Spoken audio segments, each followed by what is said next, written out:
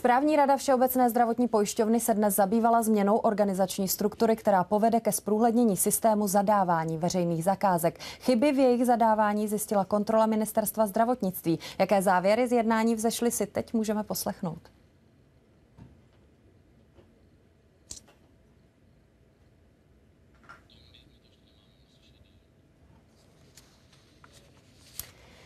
Tak na závěr jednání si ještě počkáme. V tuto chvíli ovšem tady máme další zprávy. Dneškem končí další ústavní soudce. Desetiletý mandát vyprší Jiřímu Muchovi. Ústavní soud tak bude mít jen 12 členů. Letos navíc končí desetileté funkční období dalším sedmi z nich, včetně předsedy Pavla Rycheckého. Ten je ale ochotný na postu dalších několik let zůstat.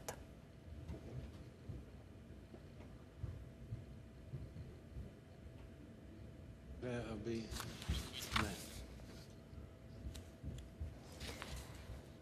Tak ještě jednou se tedy vracíme k jednání správní rady Všeobecné zdravotní pojišťovny. Pojďme se podívat na její závěry. Odpoledne, dámy a pánové, vítám vás na krátkém briefingu po jednání správní rady Všeobecné zdravotní pojišťovny.